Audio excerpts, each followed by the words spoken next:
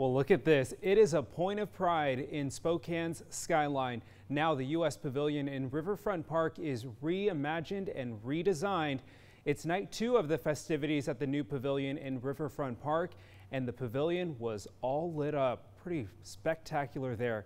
Good evening and thanks for staying up late with us. I'm Tim Pham. We could not have asked for a more beautiful night for all of the festivities downtown. But a change is coming, and meteorologist Michelle Boss is tracking much cooler temperatures this week. She's standing by now with an update. Michelle. That's right. The second half of the weekend is certainly going to feel like a different season than the first half of the weekend, but we were really lucky last night and tonight for the festivities downtown. I know we started off with some showers Friday morning. That cleared off by Friday night. Of course, we had beautiful weather all day today with mostly clear skies. Temperatures this evening have been in the upper 60s and lower 70s. The currently 69 in Spokane right now in the upper 60s across the Idaho Panhandle. Still pretty warm out across central Washington. Omak in the lower 70s. Moses Lake 78 still sitting in the mid 70s from Pomeroy to Lewiston. But things are going to be changing. Upper level trough of low pressure just pushing into the west side right now. And you can kind of see what's associated with that. Quite a light show in the Seattle area over the last couple of hours. They're seeing heavy rains and thunderstorms, mainly along the Cascades and west. But that trough is going to be pushing in our direction and bring us some unsettled weather tomorrow and much cooler temperatures. For the next 12 hours, though, things are going to be relatively quiet. Uh, we're looking at mostly cloudy skies overnight. Temperatures dropping down to the upper 50s to around 60. Our earliest chance of rain comes in around 9 o'clock, but it may be mid-morning before we start to see the wet weather work its way into the Spokane and Coeur d'Alene area. Here's a look at the next three days. Definitely feeling more like fall highs, about 20 degrees cooler than what we saw today in the mid-60s. Showers tomorrow. Chance of showers also on Monday and Tuesday with high temperatures well below normal in the upper 60s to around 70. Michelle, thank you. A young man died last night after he fell more than 30 feet from a cliff at Riverside State Park. First responders struggled to find the man and his friend who called 911. By the time they did, it was too late. KREM 2's Brandon Jones has the latest and the new 911 call we're hearing for the first time. Yeah, and behind me you can see just how tall some of these mountains are here in this area. Rocky edges at the bottom of all of these and Officials responded to a call just prior to 7 p.m. of a man who fell down one of these steep hills. By the time they had helicopters and rescue teams on the job, though, it was too late.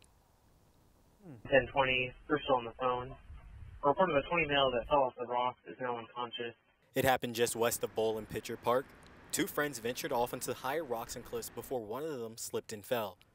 The Spokane Sheriff's Office says the man who lost his life was 21 years old. His friend who was with him was also in his 20s and tried performing CPR on the man before rescuers arrived. Sounds like the best access is east of the address by the rock, 124 code, starting from Monroe and Walton. The attempted rescue mission experienced difficulties because of low visibility and had to do multiple passovers before locating the man.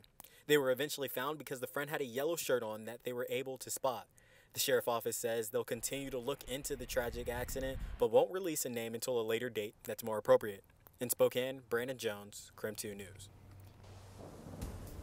Forecasters say Dorian is picking up strength as it approaches Canada. The official death toll has risen to 43 in the Bahamas and it's expected to keep increasing. We don't have no power, no water. It's hard, hard, hard to live. We sleep outside. Well, that man is a, a, diver who is trying to evacuate after the hurricane, but relief is on the way. A British military ship brought aid to the Bahamas, and a cruise ship brought more than a thousand people to Florida. Dorian left behind widespread damage on North Carolina's uh, Oak, uh, excuse me, Ocracoke Island, excuse me, and stranded hundreds of people who defied mandatory evacuation orders. This is a very close-knit community and people assure me that everyone is present and accounted for. In its latest advisory this afternoon, the National Hurricane Center said Dorian's maximum sustained winds increased to 100 miles per hour, making it a Category 2 hurricane.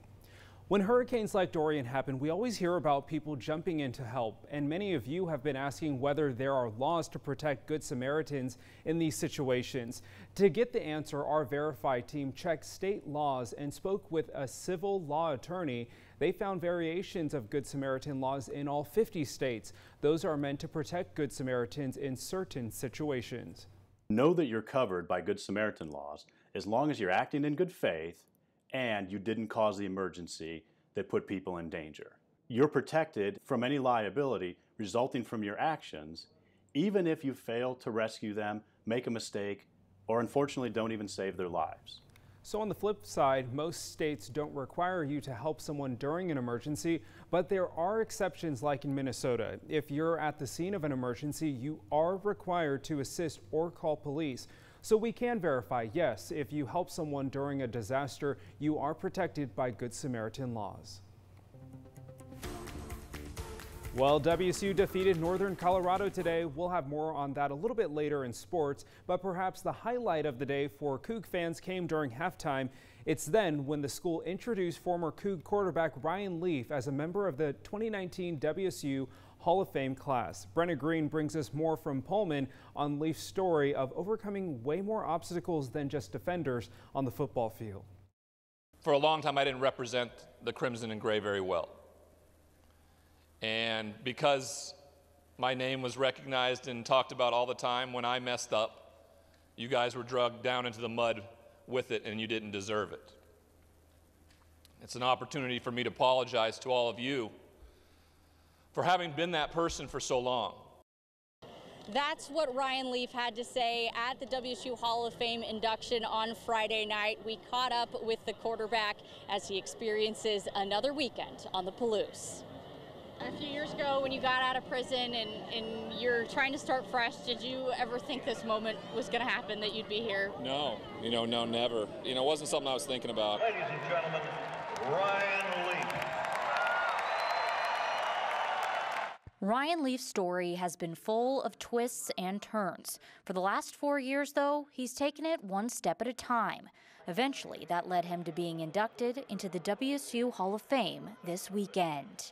I was just trying to put one foot in front of the other and, and kind of do the next right thing. And you know, these types of things happen when you when you do that, uh, and opportunities present themselves, and it just shows that you know we're making a great impact out there with the things that we're doing. So I'm, I'm really really happy and, and grateful to be part of this. Leaf was at first hesitant to accept the honor. His mentors, though, encouraged him to keep walking his journey. Being inducted into the Hall of Fame is kind of all about you, and that was always my problem. So but they also made it very clear that you know none of this happens if it weren't for the last four and a half years of our life, and uh, and it would be silly not to go and celebrate. He's not only celebrating his induction this weekend, it's about celebrating the people who walked or quite literally ran with him as well. It was an opportunity to, to make it a celebration about that team, and we've had a few players who are no longer with us um, who battled the same type of disease I battle, and, and uh, that, that type of thing can't happen again. We have to be there for one another and be responsible for one another. And so Ryan remembers those people and those memories as he creates new memories this weekend, step by step. It's been wonderful. Uh, it's been neat to be able to bring my family back and celebrate, you know, some of the best best memories of my life, uh, being a Coug and, and, and, being here. And so just, I think a lot of gratitude. I, I, it's hard to actually say. It's just it's kind of special things that have gone on in my life the last few years, and uh, this is definitely at, at, one of the top of them. I also asked Ryan Leaf how his experience with ESPN has been so far, as he's a color commentator on their airwaves this year. He says it's been great, and once again, he is just full of gratitude. Reporting in Pullman, I'm Brenna Green from 2 Sports.